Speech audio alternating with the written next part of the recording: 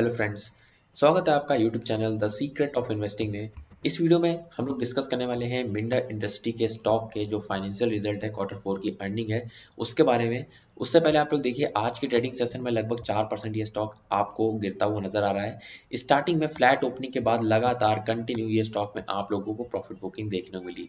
उसके पीछे का रीजन क्या है? सबसे पहले अगर हम लोग यहाँ पे फाइनेंशियल रिज़ल्ट देखें तो आप लोग देख सकते हैं, हम लोग आ चुके हैं कंसोलिडेटेड फाइनेंशियल रिज़ल्ट के ऊपर। और जितने भी यहाँ पे नंबर्स हैं, वो करोड़ में आप लोगों को मेंशन होते हुए नज़र आ रहे हैं तो कोई भी चेंज करने की ज़रूरत नहीं है। सबसे पहले इनकम देखें तो आप लोग देखिए यहाँ पे, जो इनकम है लास्ट ईयर सेम क्वार्टर की है, वो 2240 50 करोड़ के आसपास आप लोगों को यहाँ पे देखने को मिलेगी। उसके बाद अगर हम लोग लास्ट इनकम देखें तो आप लोग देख सकते हैं दो हज़ार एक सौ तिरानवे करोड़ की थी।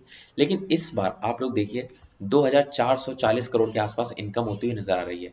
तो यहाँ पे कुछ ज़्यादा बड़ा जंप आप लोगों को इनकम में देखने को नहीं मिलेगा, ना ही ईयर ऑन ईयर बेसिस पे, ना ही क्वार्टर ऑन क्वार्टर बेसिस पे। उसके बाद अगर हम लोग यहाँ पे देखें एक्सपेंसेस वाला सेक्टर तो उसमें भी आप लोग देखिए कॉस्ट ऑफ़ रॉ मटेरियल जो सबसे ज़्यादा होती है, उसके बाद purchase of stock in trade उसके बाद यहाँ पे आप लोग देखिए employ benefit expenses financial cost other expenses इन सबको अगर मिलाएँ तो उसके बाद आप लोग देखिए लास्ट ईयर जो एक्सपेंस था, वो 2060 करोड़ के आसपास एक्सपेंस आपको देखने को मिल रहा था। अगर हम लोग लास्ट क्वार्टर की बात करें तो आप लोग देख सकते हैं यहाँ पे दो हज़ार बावन करोड़ के आसपास एक्सपेंस था, लेकिन यहाँ पे दो करोड़ के आसपास एक्सपेंस होते हुए नज़र आ रहे हैं। तो मतलब कि एक्सपेंस में काफ़ी ज़्यादा आप लोगों को इंक्रीजमेंट देखने को मिल रही है, जिसके चलते यहाँ पे हम लोगों को पता है डायरेक्टली जो इम्पैक्ट है, वो आप लोगों को प्रॉफिट में आता हुआ नज़र आ रहा है। यहाँ पे लास्ट ईयर की अगर हम लोग बात करें तो 163 करोड़ के आसपास का प्रॉफिट आप लोगों ने देखा था। उसके बाद लास्ट क्वार्टर में 118 करोड़ का प्रॉफिट और इस बार आप लोग देखिए 156 करोड़ का profit quarter on quarter basis पे तो आप लोग देखिए ठीक ठाक आप लोगों को ग्रोथ देखने को मिलेगी, लेकिन ईयर ऑन ईयर बेसिस पे यहाँ पे काफ़ी ज़्यादा गिरावट देखने को मिल रही है। रिवेन्यू बढ़ने के बाद भी यहाँ पे प्रॉफिट में कमी। ड्यू टू एक्सपेंसेस क्योंकि यहाँ पे एक्सपेंस ज़्यादा हो गए हैं कॉस्ट ऑफ़ मटेरियल कॉस्ट ये जो रॉ मटेरियल है काफ़ी ज़्यादा महँगा आप लोगों को देखने को मिल रहा है। जिसके चलते यहाँ पे जो प्रॉफिट में वो काफ़ी ज़्यादा डिक्लाइन आ रहा है और यहाँ पे उसी का इम्पैक्ट आपको आज के दिन इस स्टॉक में देखने को मिला है।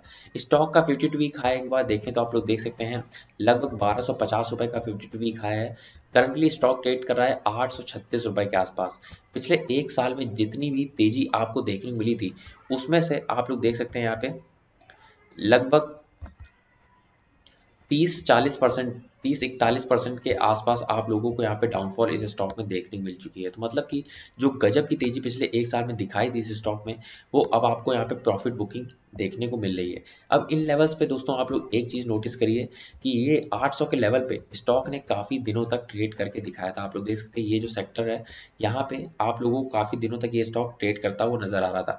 तो ये काफ़ी स्ट्रॉन्ग सपोर्ट जोन की तरफ़ से आप लोगों को देखने को मिलेगा। और अभी भी आप लोग देखिए, ये जो स्टॉक है, यहाँ पे एक अच्छा खासा बेस बनाता हुआ नज़र आ रहा है। अगर मार्केट में वीकनेस थोड़ी बहुत भी समझती है तो यहाँ से ये स्टॉक काफ़ी अच्छा खासा बाउंस बैक करता हुआ नज़र आ सकता है।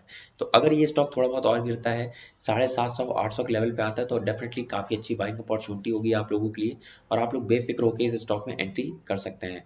आई होप मैंने आपके सारे डाउट क्लियर करने की कोशिश की है मिंडा इंडस्ट्री से रिलेटेड वीडियो अच्छा लगा हो तो प्लीज़ वीडियो को लाइक कर सकते हैं चैनल पर फ़र्स्ट टाइम होंगे तो प्लीज़ चैनल सब्सक्राइब कर लीजिए। मिलते हैं आपको नेक्स्ट वीडियो तब तक के लिए बाय बाय